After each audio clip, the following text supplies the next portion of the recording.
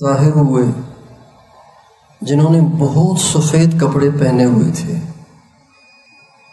شدید بیاد سیاہ۔ سفید نہیں تھے، بہت سفید تھے۔ شدید سواد شعر ان کے بال بہت سیاہ تھے۔ اور سفر کے کوئی آثار ان پر نظر نہیں آ رہے تھے۔ اور ہم میں سے کوئی ان کو جانتا بھی نہیں تھا۔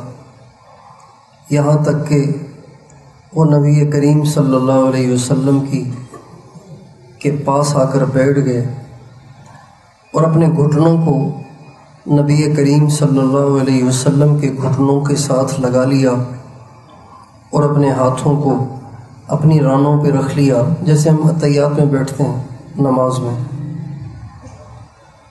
اور وہ کہنے لگے، اے محمد آپ مجھے بتائیں اسلام کیا ہے؟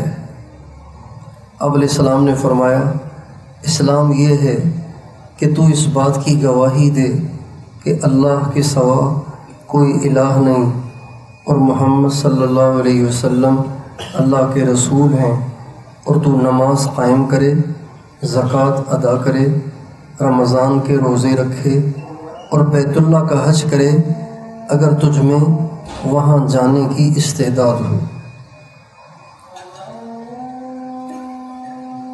حضرت عمر فرماتے ہیں کہ یہ جواب سن کر اس شخص نے کہا، آپ نے سچ کہا۔ ہمیں اس کی اس بات سے حیرت ہوئی کہ پوچھ بھی رہا ہے اور تصدیق بھی کر رہا ہے۔ پھر وہ کہنے لگے، کہ آپ مجھے بتائیں کہ ایمان کیا ہے۔ اب علیہ السلام نے فرمایا، ایمان یہ ہے کہ تو اللہ کو تسلیم کرے، اس کے فرشتوں کو تسلیم کرے، اس کی کتابوں کو تسلیم کرے، اور اس کے پیغمبروں کو تسلیم کرے، اور آخرت کے دن کو تسلیم کرے، اور تقدیر پر ایمان رکھے، چاہے وہ تقدیر اچھے حالات کی ہو، چاہے وہ برے حالات کی ہو۔ اس شخص نے کہا، آپ نے سچ کہا۔ پھر وہ کہنے لگے، آپ مجھے بتائیں کہ احسان کیا ہے؟ آپ علیہ السلام نے فرمایا، احسان یہ ہے کہ تو اللہ کی عبادت اس طرح کرے، گویا تو اللہ کو دیکھ رہا ہے۔ اور اگر تو نہیں ہے ایسا کہ اللہ کو دیکھ پائے، تو وہ تو تمہیں دیکھ رہا ہے۔ پھر شخص نے کہا آپ مجھے قیامت کے بارے میں بتائیں۔ اب علیہ السلام نے فرمایا، جس سے قیامت کے بارے میں تم پوچھ رہے ہو، وہ تم سے زیادہ سائل سے پوچھنے والے سے زیادہ جاننے والا نہیں ہے۔ اس نے کہا، اس کی نشانیاں بتا دیجیے۔ آپ نے فرمایا، اس کی نشانیاں یہ ہیں۔ اس کی نشانی میں سے چند یہ ہیں کہ ایک لونڈی اپنی آکان کو جنے اور تو دیکھے گا کہ ننگے پاؤں اور ننگے بدن غریب مسکین لوگ جو بکریاں چرانے والے ہوں گے۔ وہ تعمیر وہ تعمیر، لمبی لمبی تعمیروں میں مقابلہ کریں گے۔ حضرت عمر فرماتے ہیں، پھر وہ شخص چلے گئے۔ میں اس کے بعد ٹھہرا رہا۔ پھر مجھے نبی کریم صلی اللہ علیہ وسلم نے فرمایا، اے عمر، تجھے پتہ ہے کہ پوچھنے والا کون تھا؟ میں نے کہا، اللہ اور اس کے رسول کو زیادہ پتہ۔ اب علیہ السلام نے فرمایا، بے شک یہ جبرائیل تھے جو تمہارے پاس تمہیں تمہارا دین سکھانے آئے تھے۔ یہ ایک حدیث ہے، کتاب الایمان کی پہلی حدیث ہے۔ یہ حدیث حدیث جبریل کے نام سے مشہور ہے۔ اور یہ بڑی جامع حدیث ہے۔ بڑی عجیب و غریب حدیث ہے۔ اور نبی کریم صلی اللہ علیہ وسلم کا ارشاد ہے کہ عرتی تو جوام الکلم۔ اللہ تعالیٰ نے مجھے ایسے کلمات عطا فرمائے ہیں کہ جو اپنے اندر بڑے مضامین رکھتے ہیں۔ یعنی وہ ہیں تو چند الفاظ، لیکن اس کے اندر سمندر ہیں۔ ایسے سمجھیں جیسے سمندر ہے کوزے میں۔ تو نبی کریم صلی اللہ علیہ وسلم کے ان ارشادات میں سے ایک یہ حدیث بھی ہے کہ جس میں نبی کریم صلی اللہ علیہ وسلم نے پورے دین کا خلاصہ بیان کر دیا ہے چند سطروں میں۔ ہوا یہ کہ حضرت عمر فرماتے ہیں کہ ایک دفعہ ہم بیٹھے ہوئے تھے اللہ کے نبی کی مجلس میں۔ تو اچانک ایک شخص ظاہر ہوا طلع طلع کہتے ہیں، اچانک کسی کے نمودار ہونے کو۔ ایک شخص نمودار ہوئے حیت ان کی یہ تھی کہ وہ مرد تھے اور کپڑے پہنے ہوئے تھے اور وہ کپڑے بہت سفید تھے۔ شدید بیاض سیاب اسی وجہ سے اہل اللہ شدید سفید کپڑے پہننے کو پسند کرتے ہیں۔ اور نبی کریم صلی اللہ علیہ وسلم کا بھی ارشاد ہے کہ مجھے سب سے زیادہ تمہارے لباس میں جو محبوب ہے وہ سفید لباس ہے۔ اس لیے سفید لباس اہل اللہ کا شعار ہے، اہل اللہ کی پہچان ہے۔ سفید لباس پہننا چاہیے اور اس وجہ سے بھی سفید لباس بہت اچھا ہے کہ چونکہ انسان کے ظاہر کا اس کے باطن پہ اثر پڑتا ہے۔ جو لوگ سفید لباس پہنتے ہیں، تو سفید لباس پہنتے پہنتے ان کا باطن بھی سفید ہو جاتا ہے۔ شدید بیاض سیاہ۔ شدید سفید تھے۔ یعنی کریم کلر نہیں تھے۔ بوسکی کلر بھی نہیں تھے۔ بوسکی بھی سفید ہی ہے۔ کریم بھی سفید ہی ہے، ہاف وائٹ بھی سفید ہی ہے، لیکن شدید بیاض سیاہ بہت سفید تھے۔ تو بہت سفید تبھی ہوں گے جب خالص سفید ہو۔ شدید السواد سواد شعر۔ اور وہ جو شخص آئے تھے، ایک تو انہوں نے کپڑے بہت سفید پہنے ہوئے تھے۔ اور ان کے بال بہت کالے تھے یعنی جوان آدمی تھے۔ عرب کے ہاں پگڑی اور ٹوپی، یہ لباس کا حصہ ہے۔ عرب کے ہاں پگڑی، ٹوپی الگ چیز نہیں ہے، یہ لباس کا حصہ ہے۔ ہمارے نبی کے زمانے میں بھی لباس کا حصہ تھا، پگڑی بھی اور ٹوپی بھی۔ یہ لباس سے علیحدہ چیز نہیں تھی۔ اسی وجہ سے محدثین کرام نے اپنی کتابوں میں پگڑی کا تذکرہ اللہ کے نبی کے لباس کے ساتھ کیا ہے۔ یہ لباس کا حصہ ہے۔ ہمارے ہاں تو بھئی انہوں نے مجھے جوڑا، ہدیہ کیا ہے۔ تو اس سے مراد صرف قمیص اور شلوار ہے۔ اس سے مراد پگڑی ٹوپی نہیں ہے۔ لیکن اللہ کے نبی کے زمانے میں پورا لباس، اس میں شلوار بھی ہے، اس میں قمیص بھی ہے، کرتا بھی ہے، اور اس میں ٹوپی بھی ہے، اس میں پگڑی بھی ہے۔ یہ پورا لباس ہے۔ تو یہ جو آئے تھے تو پورے کپڑے پہن کے آئے تھے۔ تو اگرچہ اس میں سراحت نہیں ہے، لیکن اس میں یہ بات آ گئی، چونکہ عرب کے ہاں پگڑی الگ حیت، پگڑی لباس کا کوئی الگ حصہ نہیں تھا، ٹوپی الگ حصہ نہیں تھا۔ لہٰذا حضرت جبریل جو آئے تو پورے لباس میں آئے یعنی کپڑے بھی سفید تھے، شلوار تھی، یا تہبند تھی، اور کرتا تھا، اور ٹوپی تھی، اور پگڑی تھی۔ سیاہ کالے بال تھے۔ بالوں کا پتہ ایسے نہیں چلا کہ ننگے سرائے تھے۔ پگڑی پہننے کے بعد بھی بالوں کا پتہ چل جاتا ہے اور داڑھی سے بھی بالوں کا پتہ چلتا ہے۔ اس لیے فرمایا کہ ان کے بال بہت کالے تھے۔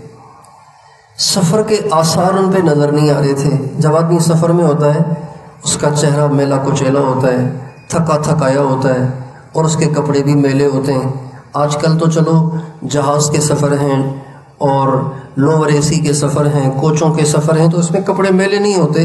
لیکن بہرحال چہرے سے تھکاوٹ تو محسوس ہوتی ہی ہے۔ لیکن یہ ایسے تھے کہ اس زمانے کا سفر اونٹوں کا، گدھوں کا، گھوڑوں کا، خچروں کا، تو مٹی اڑتی ہے، ویسے ہی آدمی میلا ہو جاتا ہے۔ لیکن یہ ان کے چہرے پہ کوئی سفر کے آثار بھی نہیں تھے۔ اور ہم میں سے کوئی ان کو جانتا بھی نہیں تھا یعنی مدینے کے بھی نہیں تھے اور سفر کے آثار بھی نہیں تھے۔ تو بڑی قابل حیرت بات تھی کہ یہاں کا بھی نہیں ہے ہے بھی باہر کا اور سفر کے آثار بھی نہیں ہیں۔ عجیب بات ہے۔ بہرحال وہ آ کے اللہ کے نبی کے پاس بیٹھ گئے۔ اور پاس بیٹھ کے اپنے گھٹنوں کو نبی پاک علیہ السلام کے گھٹنوں کے ساتھ ملا لیا۔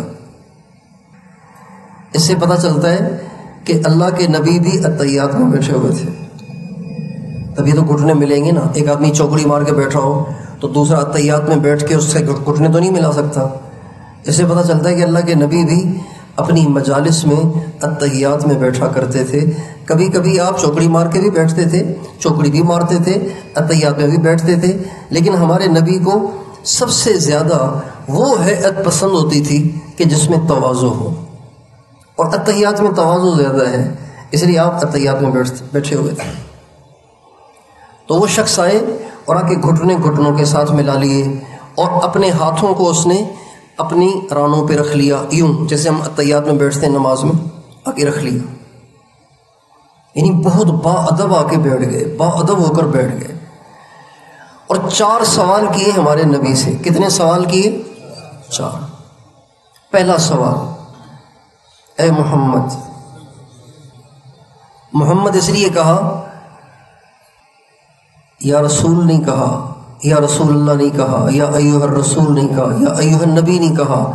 اس لیے کہ اگلے جو سوال ہیں، وہ سوال ہی ایسے ہیں کہ جس سے پتہ چلتا ہے کہ ابھی یہ اسلام میں داخل ہوئے نہیں ہیں۔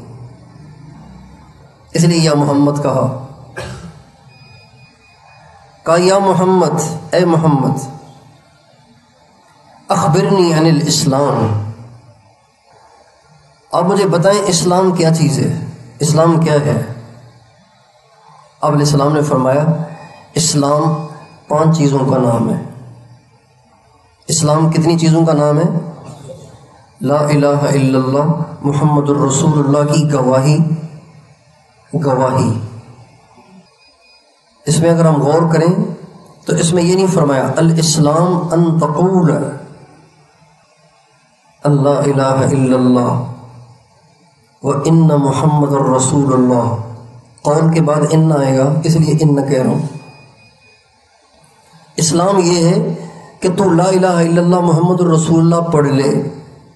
یہ جواب نہیں جواب کیا ہے؟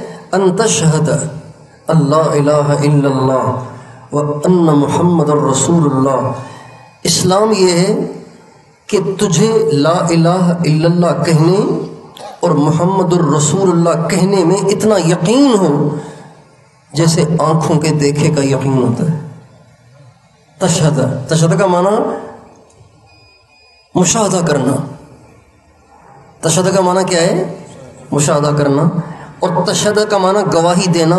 تو گواہی بھی تو اسی چیز کی دی جاتی ہے نا جس کو دیکھا ہو۔ بھائی، اس نے میری چیز اٹھائی ہے۔ بھائی، گواہ لاؤ۔ بھائی، یہ اچھا جی آپ نے دیکھا اس نے چیز اٹھائی کہ جی ہاں میں نے دیکھا، میں نے دیکھا۔ تو گواہی ہوتی ہے، دیکھے کی بن دیکھے کی گواہی نہیں ہوتی۔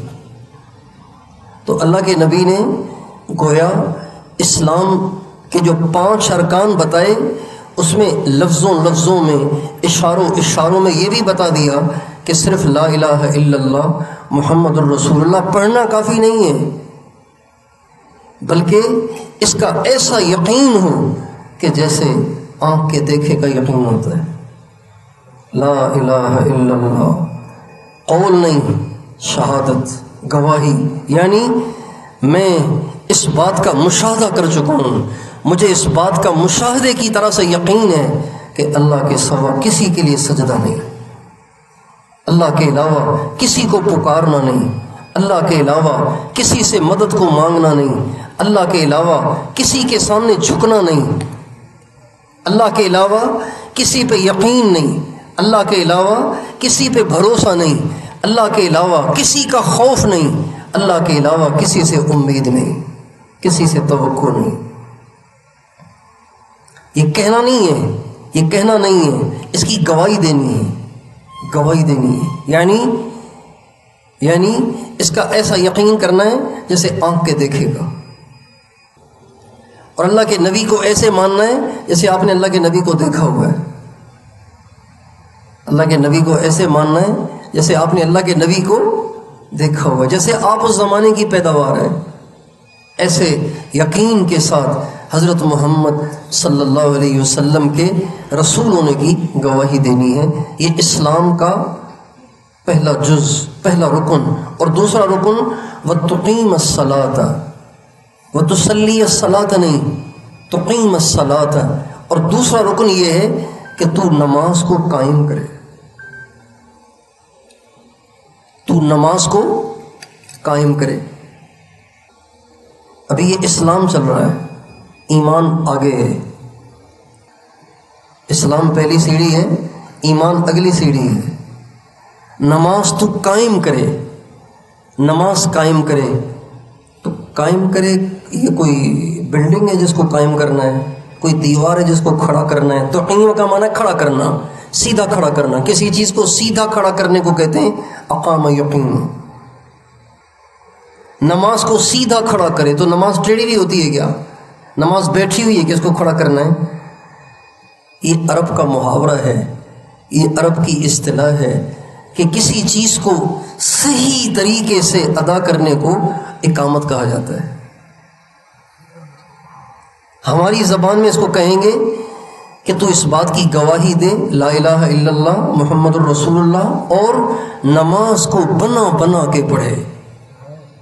تقیم الصلاط کا کیا مطلب بنے گا؟ نماز کو بنا بنا کے پڑھے۔ افسوس ہے کہ آج اہل مدارس بھی نماز بنا بنا کے نہیں پڑھتے۔ بلکہ سیدھے سادے بھولے بھالے دیہاتی ان پڑھ وہ نماز کو ذرا سکون سے پڑھتے ہیں اور یہ پڑھے لکھے ان سے زیادہ تیز رفتار کے ساتھ، ان سے زیادہ کروڑ مروڑ کے بگاڑ کے پڑھتے ہیں۔ اس لیے کہ ان کو یہ اب پتہ چل گیا ہے کہ یہ چیزیں تو مستحب ہیں، یہ چیزیں تو سنت ہیں۔ اس کے بغیر بھی نماز ہو جاتی ہے۔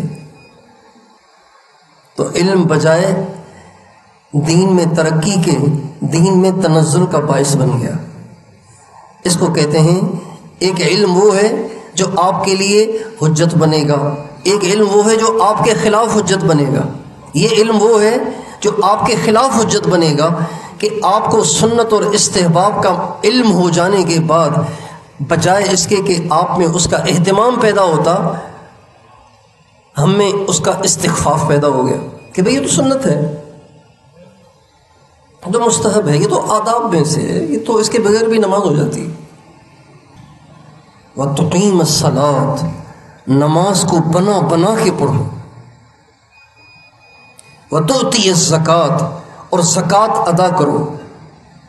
اور رمضان کے روزے رکھو۔ اور اگر بیت اللہ کی زیارت کا خرچہ اٹھا سکتے ہو تو حج کرو۔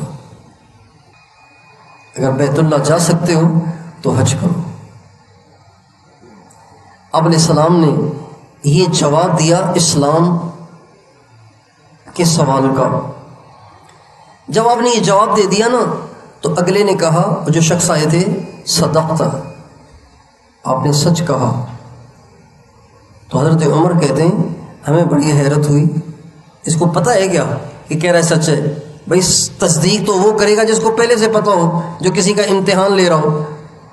ایک ممتحن بچے کا امتحان لیتا ہے۔ بتاؤ مسلمانوں کے کتنے خلیفہ ہیں؟ اس نے کہا جی چار۔ ان کا بالکل ٹھیک۔ اس کا مطلب ہے ممتحن کو پہلے سے پتہ تھا۔ حضرت عمر کہتے ہیں، ہمیں بڑی حیرت ہوئی، یہ پوچھ تو ایسے رہا ہے جیسے طالب علم ہے اور تصدیق ایسے کر رہا ہے جیسے ممتحن ہے۔ پھر اس نے ایک اور سوال کیا، اخبرنی عن ایمان ایمان کیا ہے؟ آپ علیہ السلام نے فرمایا کہ خلاصہ، ایمان تو دل سے تسلیم کرنے کا نام ہے۔ ایمان کسے کہتے ہیں؟ دل سے دل سے تسلیم کرنے کا نام ہے۔ دل سے کسی کو سچا جاننا، دل سے کسی کو تسلیم کر لینا، اس کو ایمان کہتے ہیں۔ ہماری زبان میں بھی کہتے ہیں، بھائی، آپ کو ہم پہ ایمان نہیں ہے کیا؟ یعنی ہم پہ اعتبار نہیں ہے کیا؟ ہم کھا جائیں گے کیا آپ کے پیسے؟ تو آپ نے فرمایا، ایمان دل کی تصدیق کا نام ہے اور دل سے تسلیم کر لینے کا نام ہے۔ کس چیز کو تسلیم کرنا؟ اللہ کو۔ اللہ کو تسلیم کرنا۔ اللہ ہے۔ اللہ سب بتائیے اللہ ہے۔ اللہ ہے۔ ساری کائنات اس کے قبضے میں ہے، اس کے کنٹرول میں ہے۔ اللہ ہے۔ اگر نظر نہیں آ رہا تو اس کا مطلب یہ نہیں کہ وہ ہے ہی نہیں، ہے۔ اس کو تسلیم کرنا۔ اور دوسرا، اس بات کو بھی تسلیم کرنا کہ اس نے ایک مخلوق بنائی ہے جس کا نام فرشتے ہیں۔ وہ فرشتے ہیں، ان کو بھی تسلیم کرنا۔ ان کے مختلف کام ہیں۔ اور اس بات کو بھی تسلیم کرنا کہ اللہ تعالیٰ نے انسانوں کی ہدایت کے لیے کتابیں اتاری۔ تورات اتاری حضرت موسیٰ علیہ السلام پر، زبور اتاری حضرت داود علیہ السلام پر، انجیل اتاری حضرت عیسیٰ علیہ السلام پر، اور قرآن مجید اتارا حضرت محمد صلی اللہ علیہ وسلم پر۔ ان تمام کتابوں کو سچا جاننا۔ ان تمام کتابوں کو سچا جاننا۔ عمل تو کرنا قرآن پر، لیکن جاننا سب کو سچا۔ ولیوم الآخر۔ اور اس بات کو بھی دل سے تسلیم کرنا کہ یہ دنیا ایک دن ختم ہوگی اور پھر ایک دن آئے گا، محشر کا میدان قائم ہوگا۔ دنیا کے تمام انسانوں کو، جنات کو اکٹھا کیا جائے گا اور ہر انسان کی زندگی کے تمام کاموں کا اس سے حساب لیا جائے گا۔ اس کو قیامت کا دن کہتے ہیں، اس کو تسلیم کرنا۔ اس کو تسلیم، اس کو صرف زبان سے نہ کہنا، اس کو دل سے تسلیم کرنا کہ بے شک قیامت کا دن آئے گا اور اس میں حساب کتاب ہوگا۔ اور اس بات کو بھی تسلیم کرو کہ جو ہوا اور جو ہو رہا ہے اور جو ہونے والا ہے، وہ سب لکھا جا چکا ہے۔ جو ہوا، جو ہو رہا ہے، جو ہوگا، وہ سب کا سب لکھا جا چکا ہے۔ اس کو کہتے ہیں تقدیر۔ تقدیر کا جو مسئلہ ہے، وہ بڑا گمبھیر ہے۔ اس کی زیادہ گہرائی میں نہیں جانا چاہیے۔ اس کی زیادہ گہرائی میں نہیں جانا چاہیے۔ بس اس بات کو تسلیم کرنا چاہیے کہ اللہ کی مرضی کے بغیر کچھ نہیں ہوتا۔ اچھے حالات بھی اس کی مرضی سے آتے ہیں، برے حالات بھی اس کی مرضی سے آتے ہیں۔ یہ سب اللہ پاک کے ہاں پہلے سے لکھا ہوا ہے اور اس کا مطلب یہ نہیں ہے کہ اب اگر پہلے سے لکھا ہوا ہے تو انسان کوشش کرنا چھوڑ دے۔ اس کا یہ مطلب نہیں ہے۔ جب ڈاکٹر کسی مریض کے بارے میں اس کو لا علاج قرار دے دیتے ہیں کہ بھائی یہ اب ٹھیک نہیں ہو سکتا، تو کیا اس کے ورثہ، اس کے رشتہ دار ہاتھ پہ ہاتھ دھر کے بیٹھ جاتے ہیں؟ اچھا جی ڈاکٹر نے کہہ دیا، ٹھیک ہے، چلو جانے دو۔ جا رہا ہے نا، جانے دو۔ نہیں، وہ ہاتھ پاؤں مارتے ہیں۔ وہ کوششیں کرتے ہیں۔ ایک اور ڈاکٹر کے پاس جاتے ہیں، ایک اور ہسپتال جاتے ہیں، ایک اور ماہر کو دکھاتے ہیں، شاید کوئی بچنے کی صورت بن جائے۔ بالکل اسی طرح سے ساری دنیا میں جو کچھ ہوا اور ہو رہا ہے اور ہوگا، یہ سب اللہ نے پہلے ہی لکھ دیا ہے۔ یہ اللہ کا علم ہے۔ یہ کیا ہے؟ اللہ کا علم ہے۔ جیسے ڈاکٹر اپنی مہارت سے اندازہ لگا لیتا ہے، یہ نہیں بچے گا۔ تو اللہ تعالیٰ نے اپنے علم سے ساری کائنات کو دیکھا اور اپنا علم اللہ نے محفوظ کر لیا کہ یہ یہ یہ یہ ہونا ہے۔ یہ علم ہے۔ یہ اللہ کا علم ہے۔ میں نے ایک شخص کو دیکھا، اس نے سفید بڑی پگڑی پہنی ہوئی تھی اور اس نے جبہ پہنا ہوا تھا۔ سفید رومال اس نے کندھے پہ رکھا ہوا تھا۔ میں نے دور سے دیکھے کہا، پیر ذوالفقار صاحب کا مرید معلوم ہو رہا ہے۔ تو یہ علم غیب نہیں ہے، یہ اندازہ ہے۔ یہ اندازہ ہے۔ اسی کا نام تقدیر ہے۔ اسی کا نام کیا ہے؟ بتائیے۔ اللہ تعالیٰ نے اپنے علم سے سارے مستقبل میں ہونے والے واقعات کو جانا اور اس کو محفوظ کیا، لکھے ہوئے۔ اسی کا نام تقدیر ہے۔ جب آپ علیہ السلام نے ایمان کا یہ جواب دیا تو اس نے کہا، بالکل ٹھیک کہا آپ نے۔ تیسرا سوال اس نے کیا، اخبرنی عن الاحسان۔ یا رسول اللہ، احسان کیا ہے؟ احسان کیا چیز ہے؟ احسان کا تذکرہ بہت ہے۔ قرآن میں، احادیث میں بہت تذکرہ ہے اس کا، احسان کا۔ ہماری زبان میں احسان کہتے ہیں، کسی کے ساتھ بھلائی کرنا۔ اس کو احسان کہتے ہیں، کسی کے ساتھ بھلائی کرنا، کسی کے کام آنا، کسی کی مدد کرنا، یہ احسان ہے۔ لیکن شریعت کی اصطلاح میں احسان کہتے ہیں، ہمارے نبی فرماتے ہیں، احسان یہ ہے کہ آپ جو بھی اللہ کی عبادت کا، نیکی کا کام کریں، وہ اس کیفیت سے کریں کہ گویا اللہ آپ کے سامنے ہے اور آپ اللہ کو دیکھ رہے ہیں۔ اللہ کی عبادت ایسے کرنا گویا اللہ سامنے ہے۔ جب آدمی کسی بڑی ذات کو، کسی بڑی شخصیت کو دیکھتا ہے، تو پھر وہ سرسری دیکھتا ہے یا ٹک ٹکی باندھ کے دیکھتا ہے؟ بتائیے۔ ہیں؟ سرسری دیکھتا ہے۔ تو کیا کہہ رہے ہیں؟ سو رہے ہیں، جاگ رہے ہیں۔ بھائی، کسی بڑی شخصیت کو کوئی دیکھتا ہے کسی عظمت والی ذات کو دیکھتا ہے، کسی انتہا درجے کے حسین کو دیکھتا ہے، تو ٹک ٹکی باندھ کے دیکھتا ہے یا سرسری دیکھتا ہے؟ ہکا بکا ہو کے دیکھتا ہے نا، گم ہو کے دیکھتا ہے، استغراق کے ساتھ دیکھتا ہے۔ تو ہمارے نبی فرماتے ہیں، اللہ کی عبادت ایسے کرو، گویا اللہ تیرے سامنے ہے اور تو اس میں کھویا ہوا ہے۔ اللہ کی عبادت سے ایسے کرو گویا اللہ تیرے سامنے ہے اور تو اس میں کھو کھو کے سجدے کر رہا ہے۔ کھو کھو کے رکو کر رہا ہے۔ کھویا کھویا قیام کر رہا ہے۔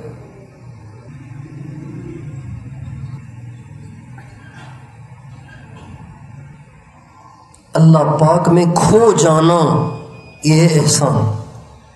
اللہ پاک میں کھو جانا اللہ کی عبادت میں، اللہ کی یاد میں اللہ میں کھو کے اللہ کی عبادت کرنا اور نیکی کا کام کرنا۔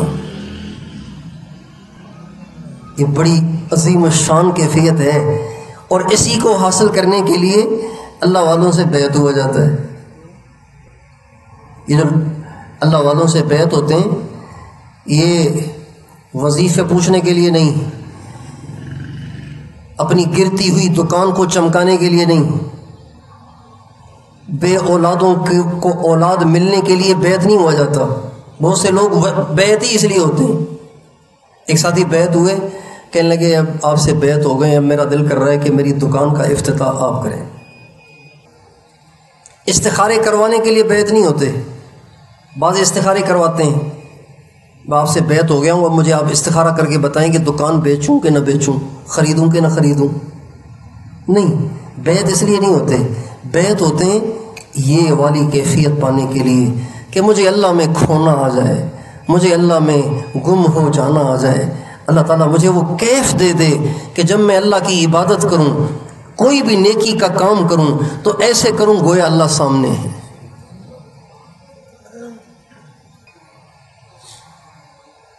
یاد میں تیری سب کو بھلا دوں۔ کوئی نہ مجھ کو یاد رہے۔ یاد میں تیری سب کو بھلا دوں۔ کوئی نہ مجھ کو یاد رہے۔ تجھ پہ سب گھر بار لٹا دوں۔ خان اے دل آباد رہے۔ نظروں سے اپنی سب کو گرا دوں۔ تجھ سے فقط فریاد رہے۔ ہر دم ذکر و فکر میں تیرے۔ مست رہوں، سرشار رہوں۔ ہر دم ذکر و فکر میں تیرے۔ مست رہوں، سرشار رہوں۔ ہوش رہے نا مجھ کو کسی کا۔ تیرا مگر ہوشیار رہوں۔ یہ احسان ہے۔ کسی کا ہوش نہ رہے، مگر تجھ سے میں باہوش رہوں کسی کا مجھے دھیان نہ رہے، مگر تیرا مجھے دھیان رہے۔ کسی کا مجھے خیال نہ رہے، بس تیرا خیال رہے۔ ہر وقت تیری یاد میں مست رہوں، سرشار رہوں۔ یہ احسان، یہ سیکھا جاتا ہے اللہ والوں سے۔ یہ ہے خانقاہوں کا عنوان، یہ ہے مشائق کا عنوان، یہ ہے بیعت کا مقصد اور عنوان۔ تو احسان یہ ہے انت ابود اللہ کا ان کا تراہ۔ اللہ کو دیکھ نہیں سکتے، لیکن لیکن جب اللہ سے تعلق قائم ہو جاتا ہے، اللہ والوں کی صحبت میں رہ رہ کے انسان اندر سے پاک صاف ہو جاتا ہے، تو پھر اس کی کیفیت ایسی ہوتی ہے جیسے اللہ کو دیکھ رہا ہے۔ دیکھ نہیں رہا، لیکن ایسے ہو جاتا ہے جیسے وہ دیکھ رہا کا ان کا ترا ہو گویا تو دیکھ رہا ہے۔ فعلم تکن ترا ہو فن اور اگر یہاں آپ کی رسائی نہیں ہوئی اور آپ کو یہ کیف ابھی حاصل نہیں ہوا تو پھر یہ تو بہت آسان ہے کہ اللہ دیکھ رہا ہے۔ بھائی، اللہ کو دیکھ کے نماز نہیں پڑھ رہے، تو اس کیفیت سے تو نماز پڑھ سکتے ہیں نا کہ اللہ دیکھ رہا ہے۔ قرآن پڑھتے وقت اگر یہ کیفیت نہیں بن رہی کہ اللہ پڑھ رہا ہے، اللہ خود پڑھ رہا ہے۔ اگر یہ کیفیت نہیں بن رہی، تو یہ تو بن سکتی ہے نا کہ اللہ سن رہا ہے۔ میں اللہ کو سنا رہا ہوں، اللہ سن رہا ہے۔ یہ تو بن سکتی ہے نا۔ جب انسان کو یہ کیفیت حاصل ہو جاتی ہے، تو پھر اللہ پاک کی مدد اس کے ساتھ ہو جاتی۔ اللہ تعالیٰ کی مدد اس کے۔ اگر کسی کو صفت احسان حاصل ہے نا، تو وہ قسم بھی کھا کے کہہ سکتا ہے، اللہ میرے ساتھ ہے۔ میرا کوئی نہیں بگاڑ سکتا کچھ بھی اللہ میرے ساتھ ہے۔ کسی کی مجال نہیں ہے۔ کہ میرا بال پیکا کر سکے۔ اللہ میرے ساتھ ہے۔ قسم بھی کھا سکتا ہے آدمی۔ اگر اس کو صفت احسان حاصل ہے، اس لیے کہ اللہ تعالیٰ فرماتے ہیں والذین جاہدوا فینا لنہدینہم سبلنا وَإِنَّ اللَّهَ لَمَعَ الْمُحْسِنِينَ۔ جو ہماری وجہ سے قربانیاں کرتے ہیں، مجاہدے کرتے ہیں، محنتیں کرتے ہیں، ہم ان کو بہت اپنے راستے دکھاتے ہیں۔ اور پھر اللہ پاک تو پکی بات ہے۔ احسان والوں کے ساتھ ہے۔ تیسرا سوال انہوں نے آنے والے نے کیا کہ اچھا یہ تو بتاؤ قیامت کب آئے گی؟ اخبرنی ان الساعہ یعنی اخبرنی ان وقت سا قیامت کے وقت کے بارے میں بتاؤ کہ قیامت کب آئے گی۔ سات ویسے عربی میں گھڑی کو کہتے ہیں، گھڑی، وقت کو کہتے ہیں۔ سات یعنی وقت۔ الفلام اس پہ داخل ہو جاتا ہے تو یہ بن جاتا ہے مخصوص وقت۔ تو قرآن میں بہت استعمال ہوا ہے اور اس مخصوص وقت سے مراد قیامت کا وقت ہے۔ قیامت کا دن اور قیامت کی گھڑی ہے۔ اللہ کے نبی سے جب انہوں نے پوچھا کہ قیامت کے بارے میں بتائیں کب آئے گی، آپ علیہ السلام نے فرمایا، آپ علیہ السلام نے فرمایا مجھے آپ سے زیادہ پتہ نہیں ہے۔ یعنی یعنی جیسے آپ کو نہیں پتا مجھے بھی نہیں پتا جیسے آپ کو نہیں پتا ویسے مجھے بھی نہیں پتا یہ عربی زبان کا ایک لہجہ ہے جو عرب اپناتے ہیں کہ مراد اس سے بات کا پکا کرنا ہوتا ہے۔ بات کا پکا کرنا مقصود ہوتا ہے، لیکن انداز ان کا یہ ہوتا ہے، جس سے تم پوچھ رہے ہو، وہ تم سے زیادہ نہیں جانتا۔ یعنی جیسے آپ کو نہیں پتا، ویسے مجھے بھی نہیں پتا۔ اللہ کے نبی صلی اللہ علیہ وسلم غزب بدر کے موقع پر ستر کافر جو قتل ہوئے، آپ علیہ السلام نے ان کو کنویں میں ڈلوا دیا۔ کنویں میں ڈلوا دیا۔ سب کی لاشوں کو کنویں میں ڈلوا دیا۔ اس کے بعد پھر آپ وہاں ٹھہرے رہے، بدر میں ٹھہرے رہے۔ ایک دو دن وہاں ٹھہرے رہے۔ جب جانے لگے نا آپ، جب آپ جانے لگے، تو آپ علیہ السلام کنویں کے پاس آئے اور کنویں کے پاس کھڑے ہو کے آپ نے ان کفار میں سے ایک ایک کے الگ الگ نام لیے اور آپ نے فرمایا، ابو جہل، میں تمہیں کہتا نہیں تھا۔ اب جو میں نے کہا، وہ پورا ہوا کہ نہیں ہوا۔ جو اللہ نے وعدہ کیا تھا کفر پر وہ پورا ہوا کہ نہیں ہوا؟ یعنی جہنم۔ تم نے دیکھ لی کہ نہیں دیکھی؟ اور اللہ نے میرے ساتھ جو وعدہ کیا تھا وہ تو پورا کر لیا۔ اللہ نے مجھ سے وعدہ کیا تھا کہ تجھے اوپر کروں گا۔ اللہ نے مجھے اوپر کر دیا۔ اللہ نے وعدہ کیا تھا کہ تیرے دشمنوں کو ذلیل کروں گا۔ اللہ نے تمہیں ذلیل کر دیا۔ تو میرے ساتھ جو وعدے ہوئے وہ تو پورے ہو گئے۔ تمہارے بارے میں جو وعدے ہوئے تھے پورے ہوئے کہ نہیں ہوئے؟ ایک ایک کا نام لے کے اب علیہ السلام ان کفار کی لاشوں کو لاشوں کو فرماتے رہے۔ حضرت عمر ایک دم آ گئے کہنے لگے یاسو اللہ، آپ لاشوں سے بات کر رہے ہیں؟ یہ تو مر گئے، ختم ہو گئے۔ آپ ان سے بات کر رہے ہیں؟ آپ نے فرمایا، آپ نے فرمایا، عمر، یہ تم سے زیادہ نہیں سنتے۔ یہ تم سے مل مسئول انہا بعالم من السائل۔ جس سے تم پوچھ رہے ہو، وہ سائل سے زیادہ نہیں جانتا۔ یعنی جتنا تم جانتے ہو، اتنا ہی میں جانتا ہوں۔ اس سے زیادہ مجھے نہیں پتا۔ اب علیہ السلام فرما رہے عمر، یہ جو لاشیں ہیں نا جن کو تم مردار کہہ رہے ہو، تم ان سے زیادہ نہیں سنتے۔ کیا مطلب؟ جیسے تم سنتے ہو، یہ بھی اتنا سنتے ہیں۔ اس سے ہمارے مشائق کہتے ہیں، ہمارے علماء کہتے ہیں کہ مردے سنتے ہیں۔ مردے، بولیے بولیے مردے سنتے ہیں۔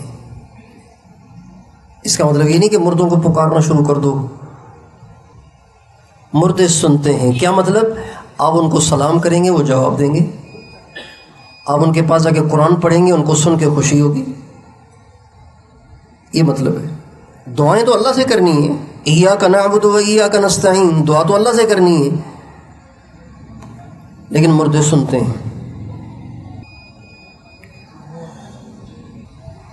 جب آپ علیہ السلام نے فرمایا نا کہ مجھے تو زیادہ نہیں مجھے تو نہیں پتا، جتنا بس تجھے پتا ہے اتنا ہی پتا ہے مجھے بھی۔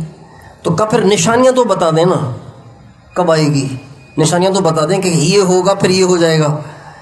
اب علیہ السلام نے فرمایا، ان نشانیوں میں سے بعض یہ ہیں کہ ایک عورت اپنی آکان کو جنے گی اپنی آکان کو جنے گی یعنی جننے والی لونڈی ہوگی اور اس کی بیٹی، اس کی آکان ہوگی، اس کی مالکہ ہوگی۔ اس کی مالکہ ہوگی۔ اس کے دو مطلب بتائے گئے ہیں۔ ایک مطلب اس کا یہ ہے کہ لونڈیاں بہت زیادہ ہو جائیں گی، ہر آدمی کے پاس لونڈی ہوگی۔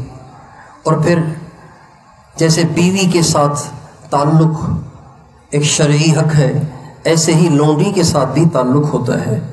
تو اس سے جو اولاد پیدا ہوگی، وہ آزاد باپ کی اولاد ہوگی، باپ مر جائے گا، باپ جب مر جائے گا، تو بیٹا وارث بن جائے گا، تو بیٹا وارث بن گیا، آقا بن گیا اور ماں اس کی لوڈی بن گئی۔ رشتے میں، ورنہ تو وہ بیٹا ہے، یہ ماں ہے۔ لیکن اس سے زیادہ واضح اور عنوان سے میل کھانے والا مطلب یہ ہے کہ ایک وقت آئے گا کہ لوگ اپنی لوگ اپنی ماؤں سے وہ سلوک کریں گے جو باندی اور نوکرانی اور لونڈی سے کیا جاتا ہے۔ یعنی قیامت کی نشانیوں میں سے ایک نشانی یہ ہے کہ اولاد ماں باپ کی نافرمان ہو جائے گی، اولاد ماں باپ کے ساتھ نوکروں والا سلوک کرے گی لونڈیوں اور غلاموں والا سلوک کرے گی اور مزید اس میں، مزید اس میں یہ کہ قیامت بہت قریب آ جائے گی اس وقت جب بیٹیاں بھی یہ کام کرنے لگیں۔ بیٹے ویسے ہی بے ادب ہوتے ہیں تھوڑے سے۔ بیٹیاں محبت والی ہوتی ہیں، پیار کرنے والی ہوتی ہیں۔ لوگوں کو بٹی، بیٹیاں پیاری نہیں لگتی، لیکن بیٹیاں اصل میں باپ سے زیادہ پیار کرتی ہیں، ماؤں سے زیادہ پیار کرتی ہیں، بیٹوں کی بنسبت۔ ہمارے نبی فرماتے ہیں قیامت کی نشانی ہے کہ جو بیٹیاں اپنی ماؤں سے، اپنے باپ سے بہت پیار کرتی ہیں، وہ بھی اس درجہ بدتمیز اور بد اخلاق ہو جائیں گی اور اس درجہ بے ادب ہو جائیں گی کہ وہ بھی اپنی ماؤں کے ساتھ، اپنے باپ کے ساتھ وہ سلوک کریں گی جو نوکر اور غلام اور لونڈی اور نوکرانی کے ساتھ کیا جاتا ہے۔ ہم ایک دفعہ جماعت میں چل رہے تھے، باہر ملک جانا تھا۔ کراچی میں ہم ٹھہرے ہوئے تھے، ایک مسجد میں۔ تو ظہر کی نماز ہم نے پڑھی۔ ظہر کی نماز کے بعد تعلیم ہوتی ہے۔ تعلیم سے فارغ ہو کے ہم اختلاط کرتے ہیں۔ لوگوں سے سلام دعا کر کے ان کو اللہ کے راستے میں نکلنے کے لیے تیار کرتے ہیں۔ تو میں ایسے ہی اختلاط کرنے کے لیے مسجد کے ہال سے نکل کے باہر آیا۔ تو میں نے دیکھا کہ مسجد کے برآمدے میں ایک بڑے میاں لیٹے ہوئے تھے اور رو رہے تھے۔ تو میں ان کے پاس چلا گیا۔ تو بڑا بڑی عمر کا آدمی ہے، سفید ڈاڑی ہے، رو رہا ہے، بھوک لگی ہے، پتہ نہیں بیمار ہے، کیا مسئلہ ہے۔ میں ان کے پاس بیٹھ گیا۔ پہلے تو وہ بتا نہیں رہے تھے، میں نے پاؤں دبائے، پیار کیا، محبت دی۔ تو میں نے کہا، آپ رو رہے ہیں، کوئی پریشانی ہے؟ کہنے لگے ہاں بیٹا۔ میں نے کہا، کیا؟ کہا، آج میری بیٹی نے مجھے مار مار کے گھر سے نکال دیا ہے۔ کس نے نکال دیا ہے مار مار کے؟ بتائیے۔ بیٹے نے نہیں، بیٹی نے۔ انتل دل امت اور ابتہا بیٹیاں بھی بدتمیز ہو جائیں اور بے ادب ہو جائیں اور بد اخلاق ہو جائیں اور آنکھیں پھاڑ پھاڑ کر اور گلے پھاڑ پھاڑ کے ماں باپ سے باتیں کریں اور ماں باپ کو کوسیں اور بد دعائیں دیں، سمجھ جاؤ کہ قیامت آ گئی ہے۔ بس، اب دیر نہیں ہے۔ ہمارے نبی کا ارشاد ہے، اللہ کی لانت اللہ کے فرشتوں کی لانت زمین آسمان والوں کی لانت اس شخص پر جو اپنے ماں باپ کا دل دکھاتا ہو۔ علیہ السلام نے ایک فرمایا اللہ انبئکم بے اکبر القبائر کبیرہ گناہ بہت سارے ہیں، لیکن ان میں بھی جو بہت زیادہ کبیرہ ہیں، کبیرہ میں بھی کبیرہ۔ وہ بتاؤں، ساوانے کا بتائیے، فرمایا، الاشراق باللہ، اللہ کے ساتھ شریک کرنا کسی کو، اور حقوق الوالدین، اور ماں باپ کی نافرمانی کرنا۔ ماں باپ کی کیا کرنا؟ کیا کرنا؟ اچھا عجیب بات دیکھیں، نبی کریم صلی اللہ علیہ وسلم نے ماں باپ کی نافرمانی جہاں بھی ذکر فرمائی ہے، وہاں معصیت کا لفظ استعمال نہیں کیا۔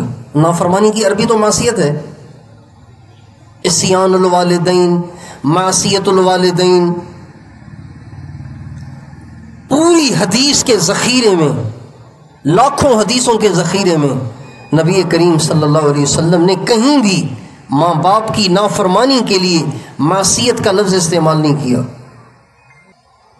اپنی نافرمانی کے لیے، اللہ کی نافرمانی، اس کے لیے معصیت کا لفظ۔ نبی پاک علیہ السلام کی نافرمانی، اس کے لیے معصیت کا لفظ۔ وَمَن يَعْصِ اللَّهَ وَرَسُولَهُ وَعَصَى آدَمُ رَبَّهُ فَغَوَى عصا وَمَن يَعْصِ اللَّهَ وَرَسُولَهُ اللہ کے نبی کی نافرمانی، اس کے لیے بھی معصیت کا لفظ۔ اللہ کی نافرمانی، اس کے لیے بھی معصیت کا لفظ۔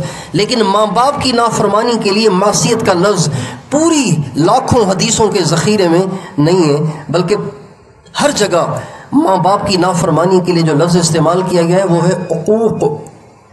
عقوق۔ اقیا اقیا عقوق۔ اور عقوق کا ترجمہ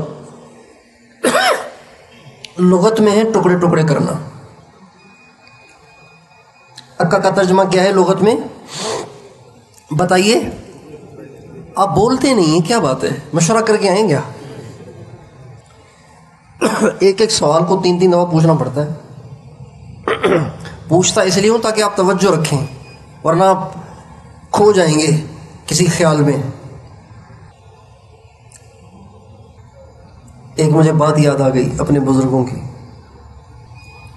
ہمارے حاجی صاحب عبد الوہاب صاحب فرمانے لگے کہ ایک دفعہ ہم حج پہ تھے، بیت اللہ کا طواف کر رہے تھے۔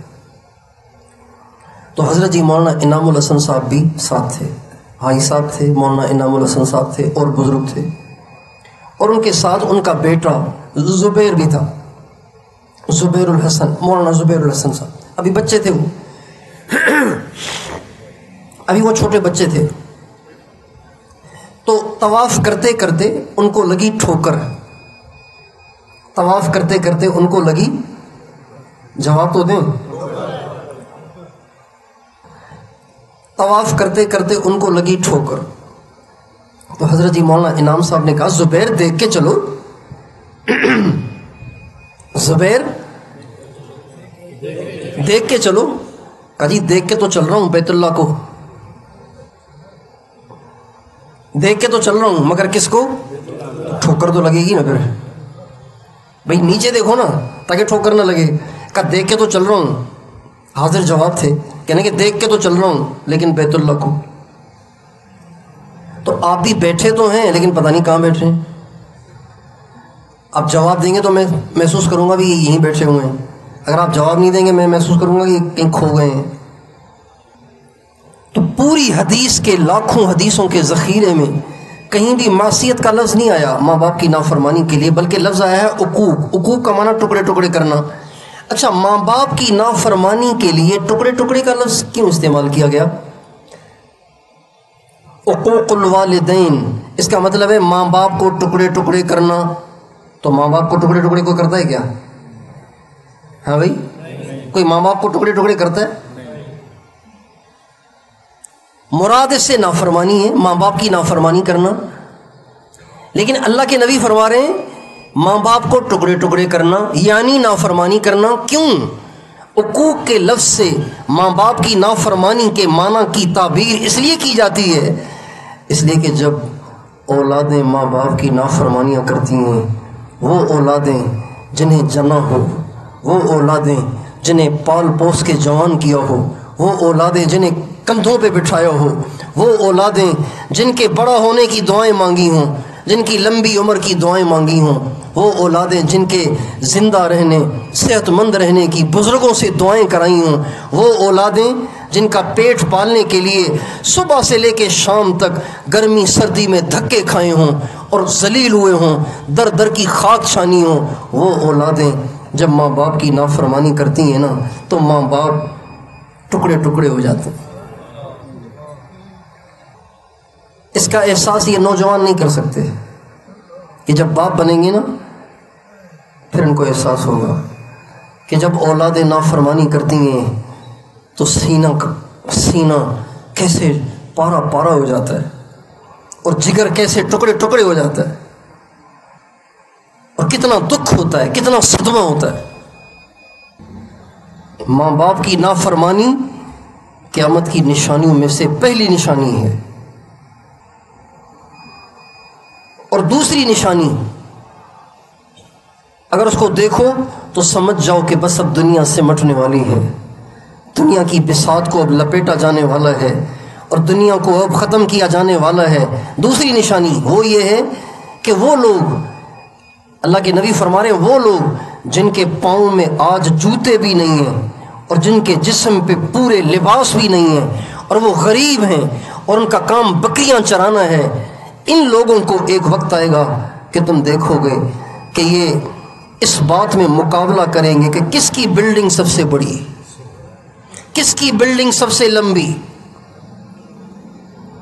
جب یہ دیکھو نا کہ ننگے بدن، ننگے پاؤں والے، بکریاں چرانے والے لمبی بلڈنگ بنانے میں مقابلہ کر رہے ہوں، سمجھ جاؤ کہ اب دنیا ختم ہونے والی ہے۔ ننگے پاؤں اور ننگے بدن اور غریب، مسکین، تنگ دست اور بکریاں چرانے والے، اس سے مراد عرب کے بدو ہیں۔ اس سے مراد کیا ہے بتائیے؟ عرب کے بدو ہیں۔ اب آپ دیکھیں۔ اس وقت سب سے زیادہ بلند و بالا عمارتیں کہاں بن رہی ہیں؟ عرب میں۔ چاہے دبئی ہو، چاہے سعودی ہو۔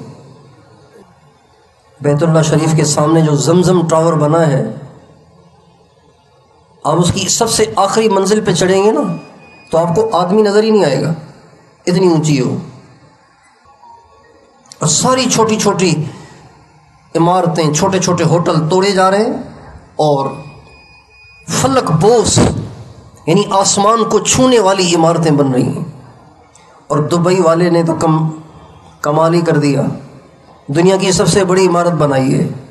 بدو نے دنیا کی سب سے بڑی عمارت بنائی ہے۔ سب سے اونچی عمارت۔ تو یہ حالات بتا رہے ہیں کہ قیامت اب دور نہیں ہے۔ سب سے زیادہ شوق لمبی عمارتیں بنانے کا ان عرب بدوؤں کو لگا ہوا سب سے زیادہ۔ یہ چار سوال کیے اس شخص نے اور پھر اٹھ کے چلے گئے وہ۔ حضرت عمر کہتے ہیں، میں بیٹھا رہا۔ اللہ کے نبی نے مجھ سے تھوڑی دیر کے بعد فرمایا، عمر، پتہ ہی یہ کون تھا جو سوالات کر رہا تھا؟ میں نے کہا، اللہ رسول کو زیادہ پتہ ہے۔ ایک بات سمجھیں۔ ہمیشہ اللہ والوں کے پاس اپنے علم کے جوہر نہیں دکھانے چاہیے، بلکہ جب بھی اللہ والوں کے پاس جایا جائے، جاہل بن کے جایا جائے۔ کیا بن کے جایا جائے؟ کیا بن کے جایا جائے؟ جاہل بن کے۔ مولانا الیاس صاحب رحمۃ اللہ علیہ فرماتے تھے، میرے پاس ان پڑھ بن کے آیا کرو ان پڑھ یہ علماء سے فرماتے تھے، میرے پاس ان پڑھ بن کے آیا کرو، پھر تمہیں کچھ حاصل ہوگا، ورنہ کچھ حاصل نہیں ہوگا۔ اللہ والوں کے پاس بولا نہیں جاتا، سنا جاتا ہے۔ اللہ والوں کے پاس جاؤ تو کان بن کے جاؤ۔ کہتے ہیں، اللہ والوں کے پاس جاؤ تو کیا بن کے جاؤ؟ کیا مطلب؟ سراپا کان بن جاؤ۔ بس کان ہی کان بن، بنے رہو۔ سنتے ہی رہو بس کہ وہ کیا فرما رہے ہیں۔ بولنے کی کوشش مت کرو۔ جاہل بننے کی کوشش کرو۔ حضرت صحابہ میں یہ کمال تھا۔ کہ سب کچھ جان جو سوال کیا جا رہا ہے، اس کا جواب جاننے کے باوجود بھی کہتے تھے، اللہ رسول کو زیادہ پتہ ہے، ہمیں ہمیں کیا پتہ؟ حجت الوداع کے موقع پہ اللہ کے نبی نے فرمایا، پتہ ہے یہ کون سا مہینہ ہے؟ کہا جی اللہ رسول کو زیادہ پتہ، فرمایا شہر ذی الحجہ کا مہینہ ہے اور کون سا مہینہ ہے؟ بھائی ذی الحجہ میں اللہ کے نبی پوچھ رہے ہیں کہ کون سا مہینہ ہے۔ حج کرنے آئے ہوئے اور پوچھ رہے ہیں کون سا مہینہ ہے۔ صحابہ یہ نہیں کہہ رہے اللہ، آپ کو یاد نہیں ہے کیا؟ ذی کا مہینہ چل رہا ہے؟ آپ کو پتہ نہیں ہے؟ اللہ رسول عالم اللہ رسول کو زیادہ پتہ۔ آپ نے فرمایا ذی فرمایا، تمہیں پتہ ہے آج دن کون سا ہے؟ تو یہ نہیں کہا، نو ذی ہے اور کون سا ہے؟ اللہ کو اور اس کے رسول کو زیادہ پتہ۔ فرمانے لگے، پتہ ہے تمہیں سب کہاں پہ ہو؟ جہاں پہ ہو، پتہ ہے کون سی جگہ ہے یہ؟ تو یہ نہیں کہا منا ہے، عرفات ہے، اور کیا ہے؟ مکہ ہے۔ مکے کے آس پاس کا علاقہ ہے۔ کہنے لگے، اللہ رسول کو زیادہ پتہ۔ ایو بلدکم حاضا ایو شہرکم حاضا ایو یومکم حاضا ان تینوں سوالوں کے جواب میں کہنے لگے، اللہ رسول عالم اس کو کہتے ہیں فنائیت۔ اس کو کیا کہتے ہیں؟ اس کو کہتے ہیں فنا فی الشیخ اور فنا فی الرسول۔ تو حضرت عمر کہنے لگے، اللہ اور اس کے رسول کو زیادہ پتہ؟ یہ نہیں کہا، لگتے تو ویسے فلاں قبیلے کے آپ بتائیں کہاں کے یہ نہیں کہا۔ اللہ و رسول عالم، اللہ رسول کو زیادہ پتہ۔ فرمائیں یہ جبریل تھے؟ یہ کون تھے؟ ہاں یہ جبریل تھے۔ اور یہ تمہیں تمہارا دین سکھانے آئے تھے۔ تمہیں کیا سکھانے آئے تھے؟ چونکہ اللہ کے نبی بہت کم بولتے تھے۔ اہم بات ہے سمجھنے کی۔ تو جبیل السلام کیوں دین سکھانے آئے تھے؟ اللہ کے نبی ویسے ہی بول دیتے۔ جبیل علیہ السلام کو آنے کی کیا ضرورت پڑ گئی؟ اللہ کے نبی بہت کم بولتے تھے۔ اللہ کے نبی بہت کم بولتے تھے۔ اللہ کے نبی کے بولنے کی نوبت اس وقت آتی تھی جب کوئی وہی آتی تھی۔ اللہ کی طرف سے پیغام آتا تھا یا پھر کوئی پوچھنے والا سائل آتا تھا، وہ آ کے سوال کرتا تھا۔ اللہ کے نبی جواب دیتے تھے، صحابہ سن لیتے تھے۔ ورنہ صحابہ ترستے رہتے تھے کہ سرکار کب بولیں گے۔ سرکار کی سریلی آواز سننے کو کب کب موقع ملے گا۔ ہم لوگ تو اتنا بولتے ہیں، اتنا بولتے ہیں کہ اگلا تنگ آ جاتا ہے، پتہ نہیں کب خاموش ہوں گے۔ اللہ کے نبی اتنا کم بولتے تھے۔ کہ صحابہ کو انتظار رہتا تھا کہ سرکار کب بولیں گے۔ اور صحابہ کہتے ہیں، ہمیں ان بدوؤں کا انتظار رہتا تھا۔ اللہ کرے، آج کوئی ضرور دیہاتی آ جائے جو آ کے بے دھڑک سوال کرے تاکہ ہمیں کچھ سننے کا موقع ملے۔ کیونکہ دیہاتی بے دھڑک ہوتے ہیں نا۔ دیہاتی بے دھڑک ہوتے ہیں۔ ادب آداب سے تو واقف نہیں ہوتے۔ سیدھی سیدھی باتیں کرتے ہو اتاکم جبرائیل فعن جبرائیل اتاکم یہ آئے تھے یو المکم دین تمہیں تمہارا دین سکھانے آئے تھے۔ اس سے ایک یہ بھی پتہ چلا کہ اللہ کے نبی کتنا خاموش رہتے تھے۔ لہٰذا ہمیں بھی خاموش رہنے کی مشق کرنی چاہیے۔ زیادہ نہیں بولنا چاہیے، کم بولنا چاہیے۔ جو کم بولے گا، وہ کم گناہ کرے گا۔ جو زیادہ بولے گا، وہ زیادہ گناہ کرے گا۔ جو کم بولے گا اس کے عیب چھپے رہیں گے، جو زیادہ بولے گا، اس کے عیب کھل جائیں گے، اس کا پردہ اٹھ جائے گا۔ خاموش رہنے سے انسان کے عیبوں پہ پردہ پڑا رہتا ہے۔ زیادہ بولنے سے انسان کے عیبوں پہ پڑا ہوا پردہ پردہ اٹھ جاتا ہے۔ اور پھر خواری ہوتی ہے۔ ہمارے نبی کا ارشاد ہے، انسان انسان پر آنے والی اکثر مصیبتیں اس کے بولوں کی وجہ سے آتی ہیں۔ انسان پر آنے والی اکثر مصیبتیں کس وجہ سے ہوتی ہیں؟ زبان کے بولنے کی وجہ سے۔ اس لیے اپنی زبان کو کنٹرول کرنا چاہیے۔ بولنا کمال نہیں، خاموش رہنا کمال ہے۔ ہمارے حضرت مولانا طارق جمیل صاحب فرماتے ہیں کہ بھئی جیسے بچوں کو بولنا سکھاتے ہو نا ایسے بڑوں کو خاموش رہنا سکھاؤ۔ بچوں کو بولنا سکھاتے ہیں نا۔ تاکہ بول، تاکہ بولنے لگے۔ ایسے ہی بڑوں کو خاموش رہنا سکھانا چاہیے۔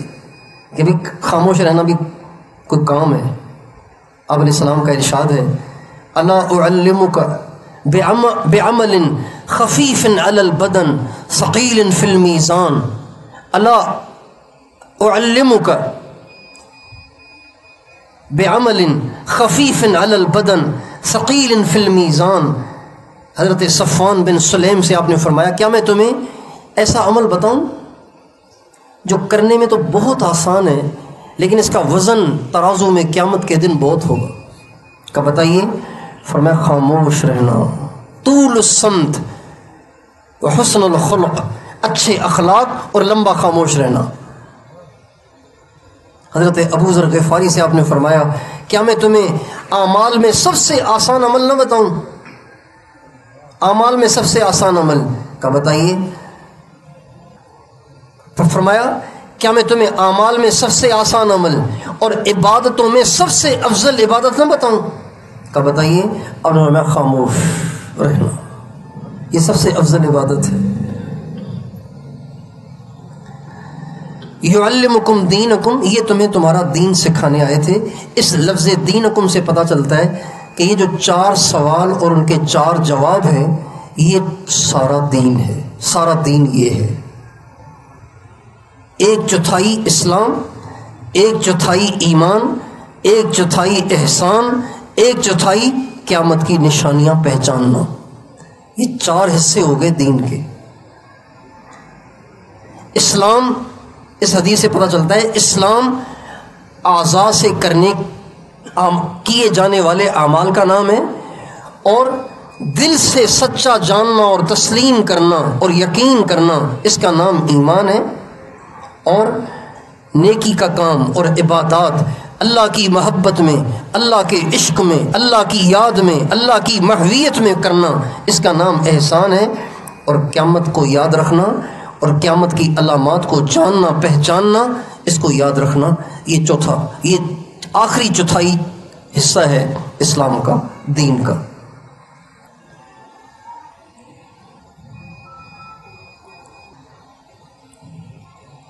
اب یہ جو اسلام ہے یعنی کلمہ، نماز، زکوٰۃ، روزہ، حج، اس کا تو عام طور پہ سب کو پتہ ہے۔ اور ایمان کا بھی تقریباً لوگوں کو پتہ ہی ہوتا ہے کہ ایمان کسے کہتے ہیں؟ آمن تو بلّہ و ملائکت ہی و کتب ہی و رسول ہی ولیوم الآخر اور تیسری چیز ہے احسان۔ یہ بہت سو کو نہیں پتہ۔ احسان احسان دین کا وہ حصہ ہے جو اس وقت مٹرا ہوا ہے۔ احسان دین کا وہ حصہ ہے جو اس وقت بتائیے مٹرا ہوا ہے۔ یہ خانقاہیں اسے زندہ کرنے کے لیے ہیں۔ یہ جو خانقاہیں ہیں، یہ اس دین کے اس تیسرے چوتھائی حصے کو زندہ کرنے کے لیے ہیں۔ اس لیے جو لوگ کہتے ہیں یہ خانقاہیں بیکار ہیں، یہ بزرگوں سے بیت ایسے ہی بیکار ہے، فارغ لوگوں کا کام ہے، کوئی فائدہ نہیں اس کا۔ نہیں، وہ غلط کہہ رہے ہیں، وہ اس حدیث سے واقف نہیں ہے وہ اس حدیث سے جاہل ہیں، لا علم ہے۔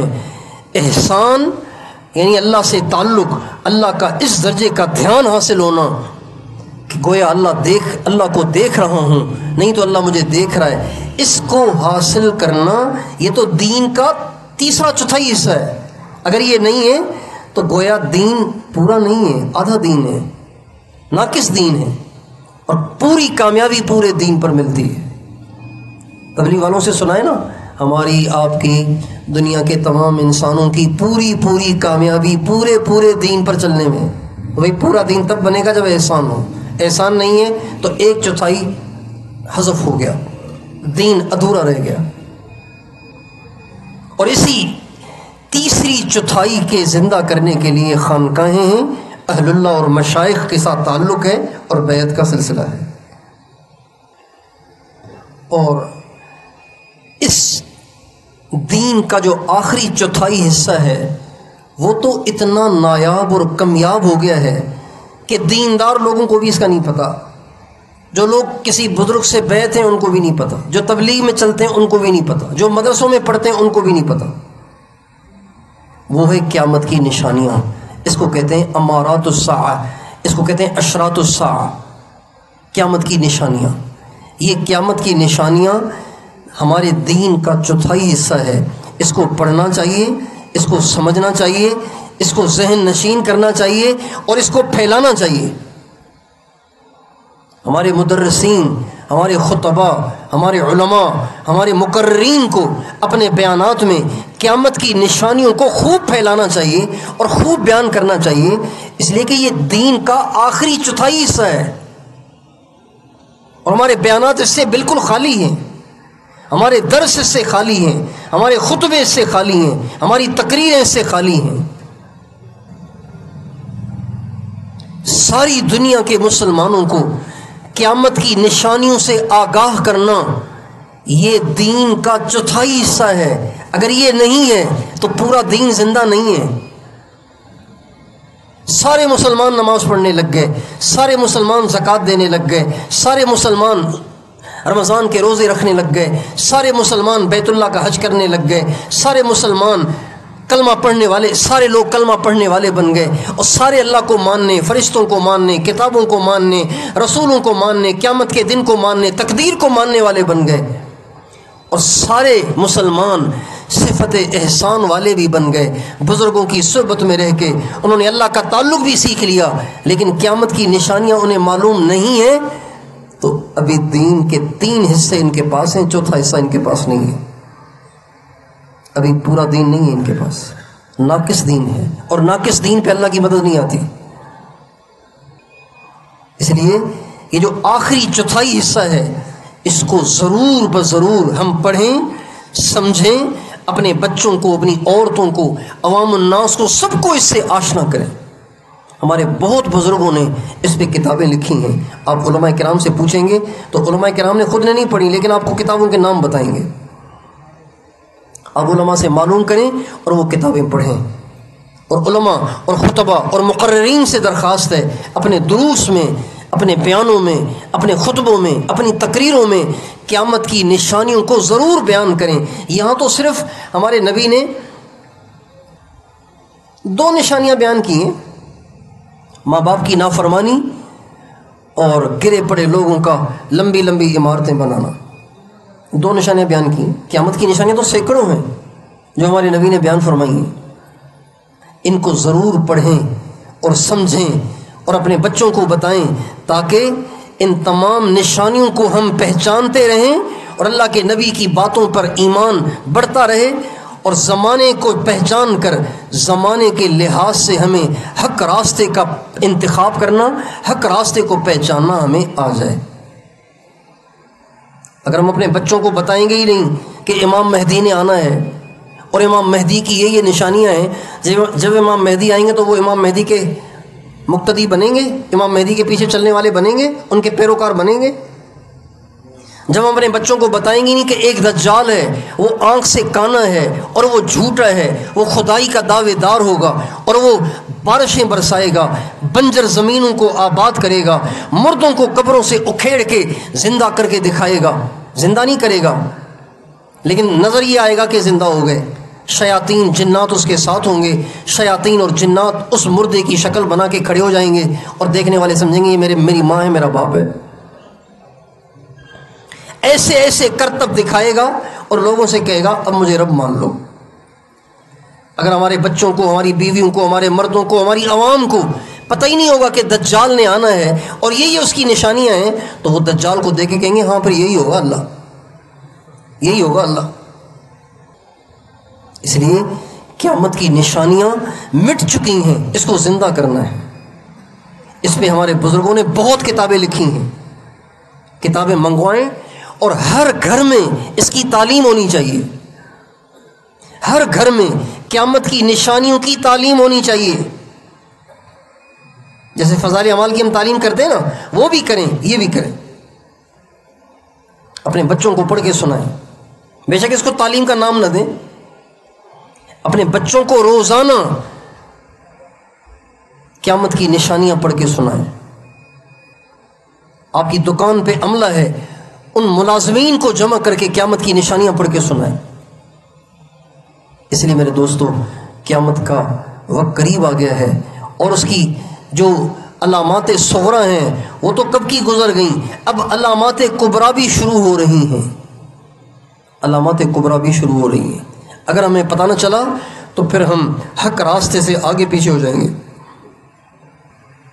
علامات کبرا کا وقت قریب آ گیا ہے۔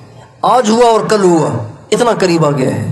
اس لیے امام مہدی کو پہچاننا، امام مہدی کی نشانیوں کو پہچاننا، دجال کی علامات کو پہچاننا، دجال کے تمام کرتبوں سے واقفیت حاصل کرنا، اور بھی جتنی قیامت کی نشانیاں ہیں، ان سب کو پہچاننا یہ ضروری ہے۔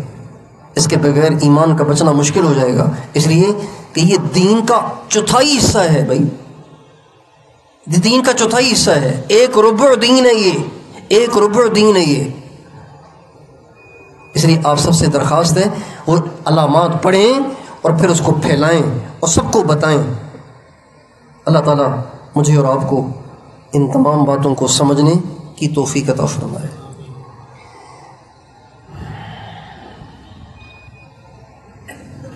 ایک روایت میں کہ جو ہے نا، انترا انتر الحفات العرات العالت رعا الشائی تو دیکھے گا کہ ننگے پاؤں ننگے بدن والے غریب مسکین لوگ بکریاں چرانے والے لمبی لمبی عمارتیں بنائیں گے۔ ایک روایت میں حضرت ابو حریرہ سے جو روایت ہے، اس میں یہ الفاظ ہیں و اظہار عیت الحفات العرات سم البکم ملوک الارض جب تو دیکھے کہ وہ لوگ جن کے پاؤں میں آج جوتے بھی نہیں ہیں اور ان کے جسم پہ پورے کپڑے بھی نہیں ہیں، وہ بہرے ہو گئے، گونگے ہو گئے اور زمین کے بادشاہ بن گئے۔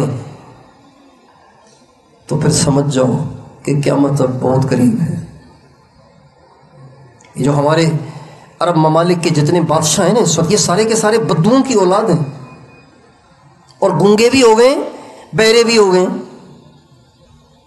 اتنا اسرائیل ظلم ڈھا رہا ہے، یہ گونگے بنے ہوئے۔ ہیں اور بہرے بھی ہیں کہ وہاں کی مائیں، جن کے بچوں کی لاشیں ان کی ماؤں کی گود میں ہیں، وہ چیخ رہی ہیں۔